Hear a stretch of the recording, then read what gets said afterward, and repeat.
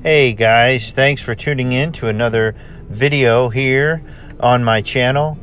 And this one is some footage that I have gotten of a rough earth snake. A rough earth snake. And uh, usually my videos are about gardening and, and plants. You see here, this is a indoor garden of jade uh, plants. There is the rough earth snake. Now, from everything that I've read, these guys live on the ground, under wood, under leaves, and things like that. So I uh, was anticipating that he'd be just on the ground of this terrarium, but he likes to hang out up in the branches of these jade plants. These are, uh, those are little clippings of the jade plants. I like to just constantly make clippings. There he is. He's just in the pot there and just looking right over the, right over the edge. He is a cool looking snake. It is a rough earth snake. Um, they eat earthworms that said that's their primary diet. They're very similar to a worm snake, but uh, a little more. There's tongue. That is cool. A little more. Um, his face is more cut. You know, kind of a chiseled, more of a of a face than a worm snake is, and I believe he's a little bit bigger. The rough earth snakes are a little bit bigger than the um, worm snakes, but and um, so, but he's super cool. Earthworms. Um, I have a little container where I keep moist uh, earthworms there in this terrarium for him to eat. I've got another little container of water. Um, those are little clippings, like I said, of my jade plants that I put in. To the right there are mealworms from my mealworm farm with a slice of potato. And here's another time that I came in and got some footage. That is so cool. Look at that. He's just like supporting himself on that little branch that's sprouting of that jade plant. oh, he looks cool. Now, if you see that there's a texture to his scales, which is a little more textury, I guess, uh, than typical, and that's why they call him the rough earth snake because if you really zoomed in, I don't know if I'll be able to do it, but if you really zoomed in on his scales, you would see that there's a little crease in the in the center of each scale, and that gives them more of a rough texture, a rough a rough look. But I mean, as you can see here, this is pretty typical for him to be hanging out up above. Um, I thought he would be hidden all the time. I would never see him. Uh, rough earth snakes, they said, are, like I said, under rocks, under wood, um, looking for earthworms. But this guy is out all the time. And I've got some leaves in there, you see, some oak leaves for him to go under. And he does, he does hang out there uh, under the under the leaves, but he sure is pretty entertaining uh, and pretty active. Now, it was just getting up to winter, and so I've brought him in uh, to inside in this terrarium where it's about 69, 68, 70 degrees.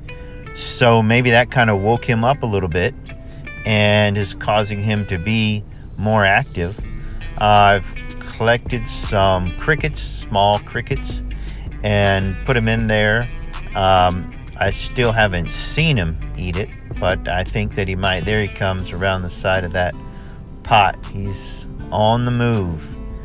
And, um, but I think he's been eating the mealworms and the earthworms, and I don't have any real moisture in there besides just water in a little, um, a small little Tupperware dish.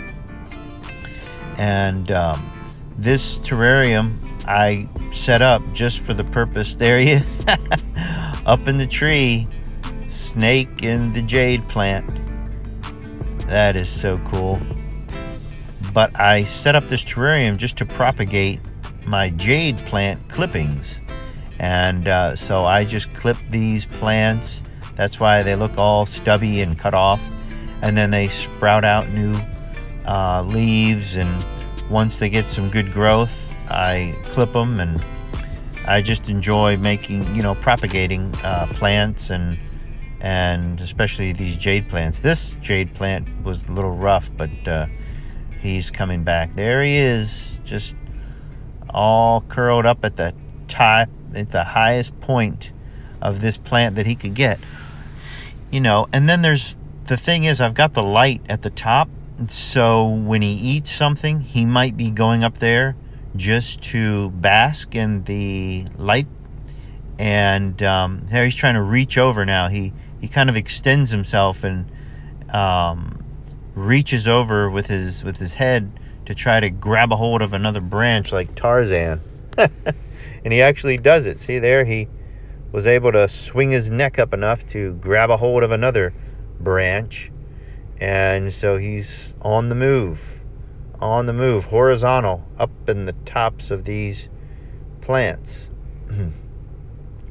but uh, so yeah, that's another theory why he might be up in the um, top so much is because he's look at that. That is cool. See, he has a more of a, that's kind of a rough earth snake. His scales, and then you see his face is more of chiseled. I'll try to come over here and get a better view from him, like a profile. But you see, there's his texture. Whoop, he's on the move. Now there he goes. You see that rough pattern of his scales right there. You can see it, a real textured pattern, pattern in these rough earth snakes. If we'll come up here in the light, yeah, there you go. That's his texture. It really does look uh, like quite a bit of quite a bit of texture with his scales, and you can. It's really cool. You see his face is a little more of a chiseled type of a face than a worm snake has.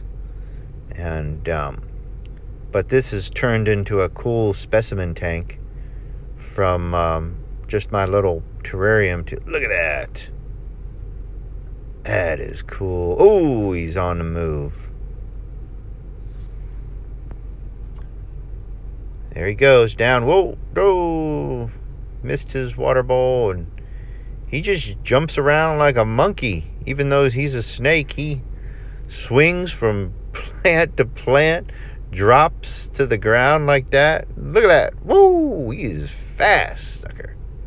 Man, he just slipped off those branches and grabbed onto another one, and he's on the move. I mean, he's a lot more active, too, than I expected a rough earth snake to be and uh, I don't know if he's just super happy in this uh, little environment here.